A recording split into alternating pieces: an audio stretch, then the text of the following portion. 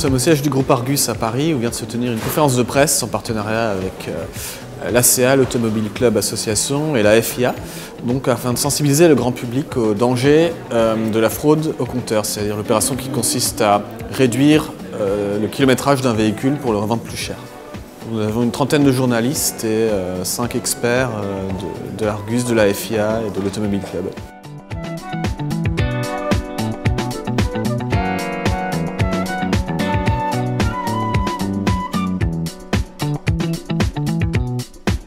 Nous avions euh, invité Gert Preuss, qui est le directeur technique de la FIA à Bruxelles, et qui nous a fait une démonstration en direct de modification du compteur kilométrique de cette Opel Zafira à l'aide d'un petit boîtier électronique acheté sur Internet pour quelques centaines d'euros. Ce boîtier fonctionne très simplement, il se branche sur la prise OBD du véhicule, la prise OBD qui est utilisée par les concessionnaires pour faire le diagnostic de votre véhicule. Donc un câble, on branche dessus et c'est terminé. Il, suffit juste ensuite de, suivre les indications données par le boîtier.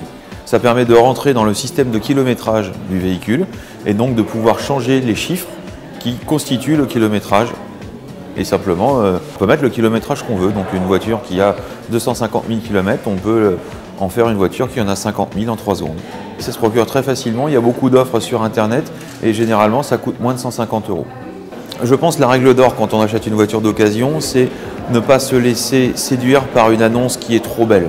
Pour être vrai, il faut sortir vraiment toutes les annonces similaires, même modèle, même, même année, même autorisation, même finition, et les comparer. Pourquoi une voiture qui serait identique à une autre serait vendue 2000 euros moins cher, alors qu'en plus elle a la moitié de, son kilométrage? Donc il faut que ces annonces-là génèrent une sorte de questionnaire auprès du vendeur et puis essayer de faire des vérifications d'usage avec l'aide du concessionnaire.